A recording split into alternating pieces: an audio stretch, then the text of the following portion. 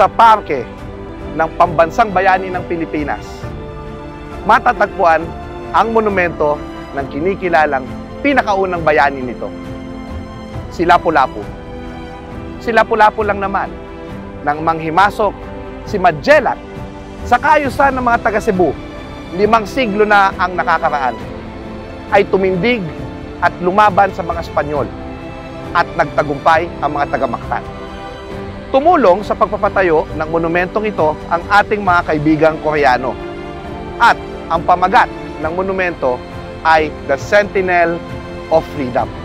Mga kaibigan, si Lapu-Lapu, bagamat siya ay taga-Mactan, ay kinilala ng mga bayani natin tulad ni Mariano Ponce, Jose Rizal, Juan Luna, Emilio Jacinto, at Emilio Aguinaldo. Kaya naman po, dahil siya ang naging inspirasyon ng ating mga pambansang bayani, siya ay itinuturing natin na isa sa mga pinakamahalagang bayani ng ating bayan. Paalala po na dapat lagi tayong nakatanod sa ating kalayaan.